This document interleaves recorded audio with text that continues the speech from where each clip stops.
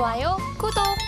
이 블랙에일 이슈라고 봐야 되는데 자 이 블랙에일 이슈의 핵심은 결국은 어, 잘한다 잘한다 했더니 이렇게까지 잘할 수 있을까 했던 엔비디아가 블랙에일에서는 CPU마저도 자기가 만들었단 말이죠. 네. 근데 여기서 이제 뭔가 문제가 생겼다라고 하니까 아 역시 엔비디아는 CPU 안 되는 거 아니야? 그래서 이게 TSMC가 못 만든다고 하니까 TSMC의 잘못일 수도 있고, 그러니까 설계는 잘했는데 그걸 못 만들어내는 것일 수도 있고, 설계 자체가 과도해서 TSMC가 헤매는 것일 수도 있는데, 뭐 둘 중에 누가 실수를 했던 이게 만약에 지연되면 우리가 생각했던 HBM의 생산량이나 이런 것들엔 당연히 타격이 있는 것 아니냐. 그 논리로 지금 전 세계 반도체가 다 빠지고 있는 거잖아요. 자 여기에 대해서 이성홍 이사님의 판단은 어떻습니까? 충분히 이론적으로 봤을 땐 영향은 미칠 수 있습니다. 네. 그런데 뭐 지금의 지연된 캐파 어, 2025년까지 수요 초과를 감안을 해봤을 때 여기에 대해서 엔비디아의 실적 추정치 대비해서는 음, 실적에 대한 부분이 나오는 수치가 병목이 생길 수는 있거든요. 예, 그렇다 보니까 시장에서는 실적에 대한 우려 부분 일부, 그 다음에 때마침 뭐 AI 뭐 그와 관련해서 이 캐펙스가 과연 회수가 될 수 있을지 그게 겹쳐진 상황에서 나온 얘기인 것 같아요. 엔비디아 입장에서는 직접적으로 이게 뭐 큰 이슈가 되지 않는다라고는 밝혔는데 어, 한번 지켜봐야 될 것 같아요. 왜냐하면 지켜보는 상황이 필요한 게 짚어주신 것처럼 뭐 TSMC 그다음에 엔비디아 둘 중에 이게 어느 쪽에서 더 뭔가 문제가 있다라고 어, 판단을 할지 그 부분을 한번 보는 거고요. 실제 지연, 지연이 된다라고 하면은 실적은 한 한 분기 정도 delay가 될 수 있음을 말씀을 드리고 수요에 대한 부분에 이상은 없을 텐데요. 음, 공백, 병목, 병목 현상이 있을 수 있다 보니까 우리가 그걸 기다리면서 좀 살펴봐야 된다는 말씀까지 함께 드립니다. 다만 우리가 지금 생각해야 될 거는 주식의 관점에서 생각을 해보자고요. 모든 건 이제는 기본으로 돌아갑니다. 어, 낙폭과대주부터 볼 필요가 있고 미국에서도 어, 낙폭과대주 중심으로 먼저 반등이 나올 거예요. 그 중심은 tech고요. 그렇다 보니까 우리가 여기에서 rebalancing이라는 말씀을 자주 드리는데 지금의 rebalancing의 핵심은 우리나라도 tech주, 그다음에 변압기, 식품 이런 쪽이고 늘 봤던 대표적인 종목들입니다. SK 하이닉스, 테크윙, HD 현대 일렉트릭, 삼양식품 이런 쪽으로 종목들 같은 경우를 좀 모니터링 할 필요가 있음을 말씀을 드립니다. 근데 우리가 이제 여기서 한 가지 짚어봐야 될 건 그 부분 아닐까요? 우리도 이제 그렇게 믿었던 2차 전지 자체가 결국은 이 chasm이라고 하는 벽을 만나서 주가의 변동성을 크게 키웠잖아요. 근데 생각해 보면 전기차 줄어든 적이 없거든요. 네네. 네, 다만 전기차의 성장 속도가 예상보다 어, 느려서 결국은 valuation이 높았던 종목군들의 급락이 나타난 건데 네.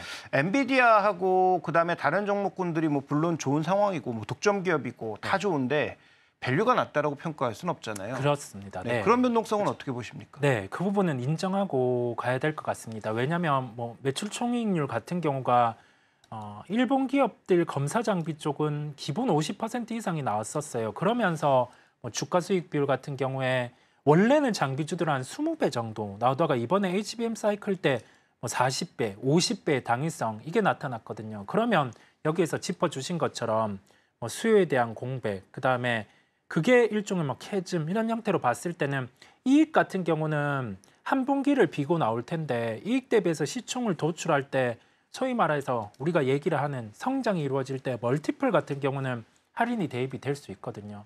그렇다 보니까 지금 관점에서는 음, 짚어주신 부분에 대해서 저도 동의를 하고 여기에서 과밸류 수준 같은 경우를 시장에서는 좀 우려를 합니다. 확실히 우려를 하고 물론 시장 조정이 나오면서 같이 다 빠져서 다 지금 재편을 하기는 하겠지만은 어 뭐 주가 수익 비율 기준으로 한 50배 이렇게 부여받던 장비 업체들 같은 경우는 좀 빠르게 할인이 들어올 수도 있고 그게 한 20배 어찌 보면 주가는 반토막 이렇게 날 수도 있는 상황까지 시장에서는 감안을 하는 것 같습니다. 네. 자, 일단 뭐 준비 그램 하나 보여주실까요? 지금 그 소위 이제 독점에 준하는 기업들의 주가 1년간의 수익률입니다. 엔비디아가 많이 빠졌는데 여전히 140%예요. 자, 그다음에 지금 뭐 하이닉스, 그다음에 뭐 TSMC, ASML 전부 급락했다고 하는데 TSMC가 64%, 하이닉스가 47%, T, 어, ASML도 여전히 23% 플러스 난 상황입니다. 물론 고점 대비해서는 어마어마하게 빠졌지만 이들 종목이 1년 전으로 되돌아가 보면 여전히 비교적 높은 수익률을 가지고 있단 말이죠. 자, 우리 지수가 지금 1월 어, 초반으로 돌아간 상황이잖아요. 그래서 지수 수익률이 다시 마이너스 혹은 뭐 제로가 됐습니다. 그런데 하이닉스는 여전히 연초 대비해서 봤을 때도 한 20% 내외의 상승률을 가져가고 있는 거예요. 그러니까 어, 여전히 지금 이들 종목의 흐름은 뭐 우리가 고점에서 빠진 것 때문에 나쁘다 나쁘다라고 하지만 시간을 되돌리면 되돌릴수록 전혀 나쁜 게 아닌 거죠. 그러니까 보유하고 있는 사람의 입장에서는 뭔가 시장이 예상한 대로 돌아가지 않으면 충분히 차익을 실현할 수 있는 룸이 남아 있는 거예요. 먼저 샀던 사람들은. 다만 뒤늦게 쫓아선 사람들은 현재 구간에서 빠르게 주가가 내려오면서 마이너스로 돌아서거나 어, 이 지금 거의 보합권까지 내려와 있는 상황이겠죠. 무슨 얘기를 드리고 싶은 거냐면 소위 독점을 얘기하는 기업들의 주가가 이렇게 힘없이 빠지고 있는 국면은 뭐 우리가 아무리 뭐 좋은 얘기를 하고 시장의 수급이 뭐 돌아선다 얘기를 해봐도 쉽게 돌릴 수 있는 구간이 아닙니다. 즉 엔비디아 쪽에서 확실하게 무언가 반박할 수 있는 그런 자료를 내놓는다든지 아니면 뭐 TSMC 쪽에서 다시 우리가 지금 엔비디아 쪽이 좀 빠져도 다른 쪽에서 받쳐주면서 실적이 굉장히 견조한다라는 것을 스스로 증명해야 아마도 이들 종목에 뭔가 반전이 나타날 수 있다라는 거죠. 그래서 결론적으로 저는 아, 이들 종목의 지금 뭐 기술 싸움, 뭐 기술의 전반적인 흐름들 이런 것들도 물론 주목해봐야 되지만 소위 독점 기업들의 주가가 쉽게 회복되지 않는 지금의 국면은 굉장히 약한 상황이다. 즉 또 시장을 이끌어왔던 주도주들이 흔들리고 있다라는 관점에서 좀 신중론을 가져갈 필요가 있다라고 보고 있는 거죠. 뭐 기존에 제가 이 방송을 나와서도 뭐 SK하이닉스보다 삼성전자 계속 강조드렸지만 삼성전자마저도 붕괴되고 있는 지금의 이 상황은 결국은 우리가 생각했던 것만큼의 속도가 안 나오거나 지금 뭐 3개월 얘기하고 있는데 3개월보다 더 지연될 수도 있는 거예요. 만약에 이게 뭐 설기 결함이라고 한다면 어, 더 지연될 수 있는 거고 만약에 제조 결함이라고 한다면 제조 결함은 뭐 빠르게 뭐 돌아올 수도 있겠죠. 어쨌든 중요한 것은 이 네 종목 소위 이제 독점 기업이라고 하는 이 네 종목의 주가 회복도가 얼마나 빠르게 나타나는지가 관건이고 자 이 중에서 하이닉스가 독점도가 가장 낮습니다. 이미 마이크론 들어와 있고요. 삼성전자도 지금 뭐 8월 9월 달에 들어온다는 얘기가 있는 거잖아요.